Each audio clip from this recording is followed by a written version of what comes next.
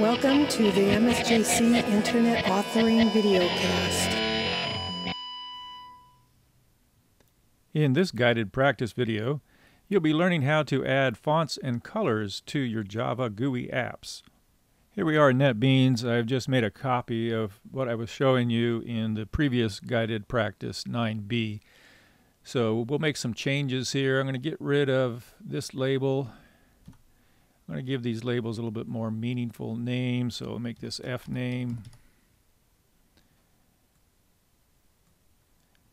L name and date and then we'll need to just come down here we'll get rid of that addition and then just reflect our new names here for each of those three labels.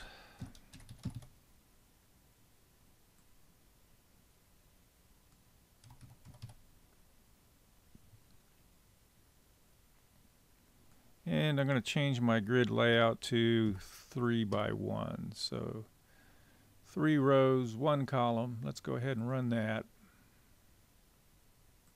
And there's what we've got. The first thing I want to show you here is how to add a font object into your project. So we'll just come here and put it right below container. We could put it below the labels. It doesn't really matter the order. So we'll create a new font object, call it FNT, and then that's going to be a new font object and it's in the constructor now that we can put in the font name, the font style, and then the point size for the font. So the family name is going to be a string value, so that's monospaced, monospace.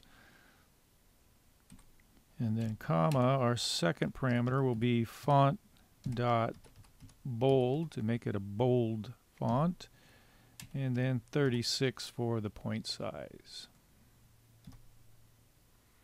So now that we've created the font, we need to go ahead and uh, set the font for one of our labels. So let's just go down here and uh, right below the first name label, I'll go ahead and do F name. So that's the label I want to change. Oops, that's going to be capital N. That's the label I want to change there and then use the set font method and then pass to it that font that we just created up above there. So let's go ahead and run this and you can see there is the change that we've made to the first name label. Now the next thing I'll do is I'll go ahead and add color to it. So we'll just go up here, create a color object. We'll call it for color. And that'll be an instance of a new color class. And we'll give it a value of 255, 125, and 80.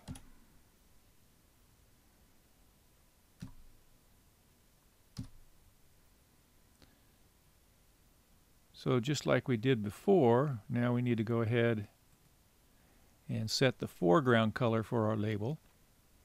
So we'll come down here right below our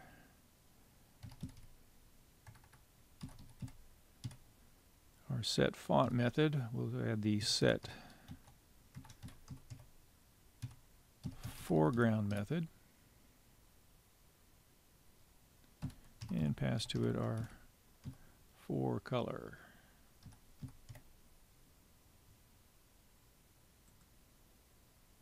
And we'll go ahead and run it.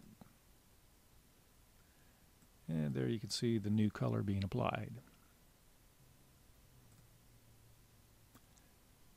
Now if we wanted to,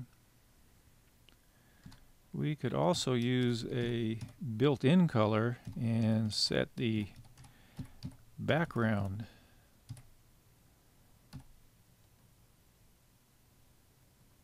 And that's going to be color dot white. Go ahead and run that. And we don't see anything. And that's because the background color by default is 100% transparency. There's no opacity being applied to that.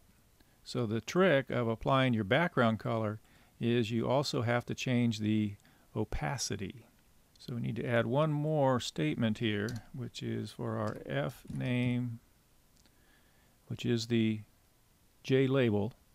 We want to use its set opaque method and set that to true. Now when we run it, there you can see the white background being applied to the J label.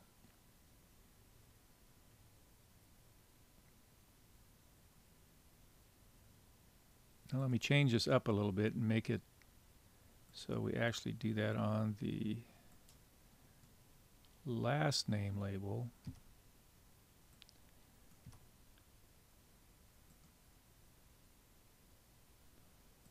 And there you can see the difference. A little bit more obvious that way.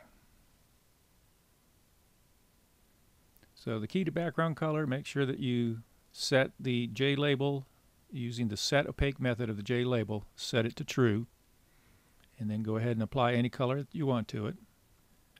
So for this assignment, what I want you to do is create a font instance and apply it to one of your J labels. So just need three J labels just like we had from the previous guided practice. So assign a font instance to one of the J labels, create a custom color and apply it to one of your labels, and then also use a built-in color and apply it to one of the labels. Or you can also apply background if you like. So that's it for this guided practice. Until next time, happy coding. If you liked this video, please click the like button and leave us a comment down below. I also would appreciate it if you would subscribe to our YouTube channel. Also, click the notification bell so that you'll be notified when new videos are posted.